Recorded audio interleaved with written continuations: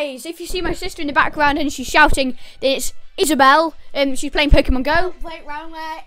and she's catching Pidgey. Um. I'm just gonna show you Got it. these things. Wrong way. Toxic waste. Oh my gosh, they're awesome. It's not that bad. oh, wrong way. They are awesome. Yeah. It's been put in. Yay, I got it. This is the black cherry. It's only sour for a bit, and then it's not that sour. It's not. It's, It's not, sour at all. It's good. Correct me if I'm wrong, but apparently these are the sourest um ones in Britain. Sweets in Britain. Oh, hypno. It's too. Sure hope they won't be. Guys, Britain doesn't have many sour sweets.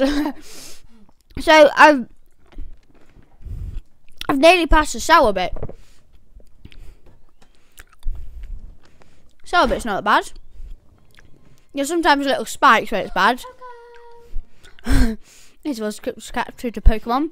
Um, What's a nice bit? it because it's awesome. Well, awesome. So guys- now.